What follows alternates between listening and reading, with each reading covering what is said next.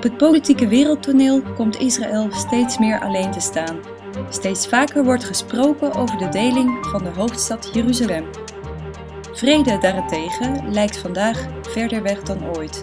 Eind augustus ging een groep van christenen voor Israël naar Jeruzalem om daar onze vriendschap, onze steun en onze diepe verbondenheid te tonen aan de inwoners van Israël.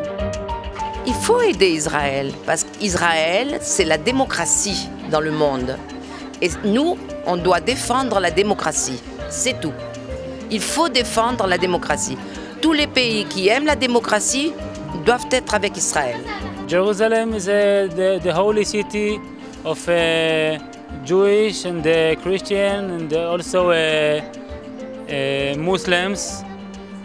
So uh, let's keep it uni- united and behave with respect to, to, to this holiness. How are you?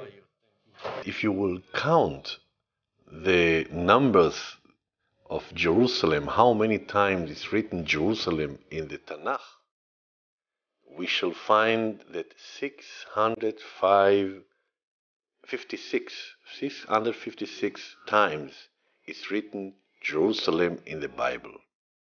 If you will open the Quran that belong to the Muslims, you will not find even one time that is written Jerusalem. Mecca can be, but uh, not Jerusalem. Therefore, for us, as it's written in the Bible, Jerusalem, we have only one place to, to pray because every synagogue, every Jew in all over the world, the face are to Jerusalem. The face from the synagogue and the face of the people. If you will go to the mosque in Jerusalem, Al Aqsa, to which place they are praying, you will see that the back is Jerusalem, the face are for South Saudi in Mecca. So leave our city to us because it's only one place that is holy for us.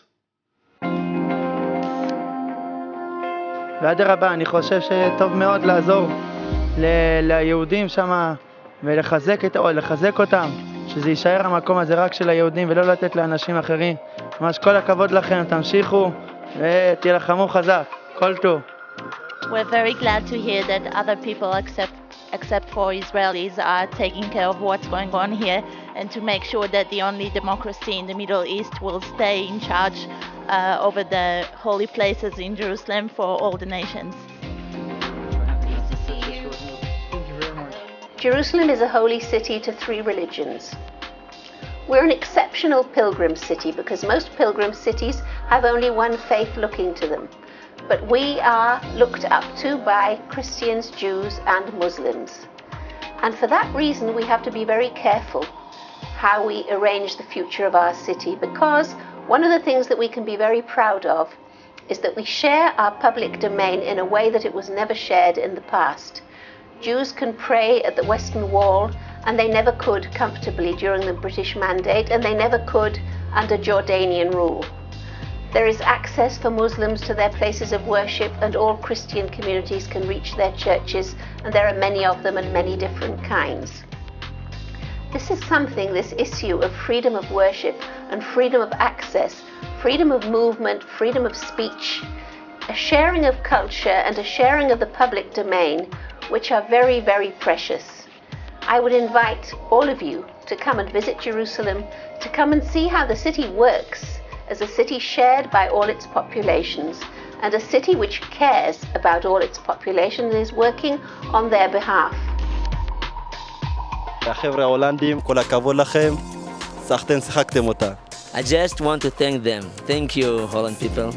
בוודאי, כל הכבוד לכם, כל הכבוד לכם, ותמשיכו תמשיכו בתמיכה שלכם, בעזרה להיות, להיות שלכם. השגרירים שלנו, שם. תודה רבה רבה, כל הכבוד לכם. כל הכבוד, אנחנו אוהבים כל אתכם, שאתם. אוהבים אותנו.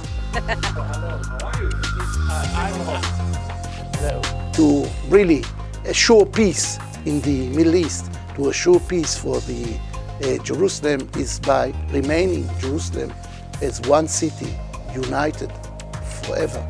Because uh, being united in Jerusalem could bring us to the idea that people can live together. If we are dividing Jerusalem, it means that the conflicts go from here to eternity. And we would like to find ourselves in a real unification with all the people in the Middle East, Christians, Jews, Muslims, when they will understand that the ability of living together is only under one sovereignty, and one sovereignty is the sovereignty of Israel.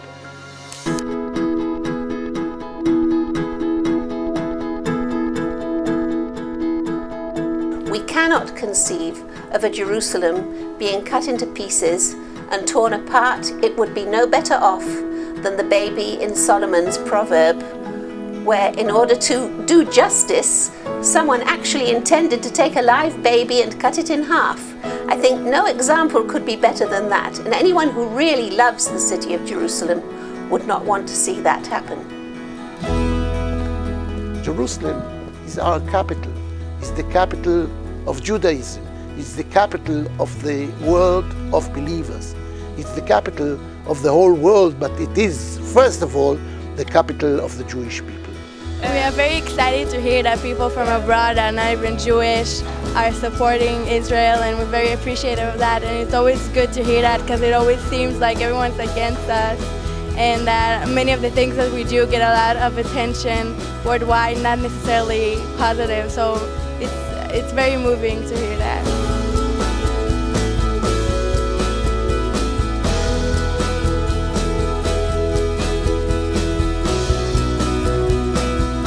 We are so happy that we have brothers like you because uh, we need your support, we need your help, we need your voice to say the truth to the world that Israel is innocent.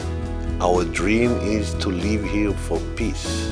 We didn't come from Europe after the Holocaust to continue to fight. We want only to sit here to serve our God, to allow every religion to serve their God for peace. Thank you so much for your support. We appreciate it very much. Yes, thank you very much. Thank you.